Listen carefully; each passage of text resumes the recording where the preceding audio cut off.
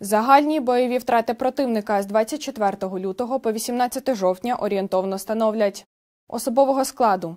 Близько 65 тисяч 850 осіб ліквідовано, танків 2548, бойових броньованих машин 5219, артилерійських систем 1622 одиниці, РСЗВ 372, засобів ППО 188, літаків 268, гелікоптерів 242 одиниці, автомобільної техніки та автоцистерн 3985, кораблів катерів 16, БПЛА оперативно-тактичного рівня 1276, крилатих ракет 318, спеціальної техніки 144.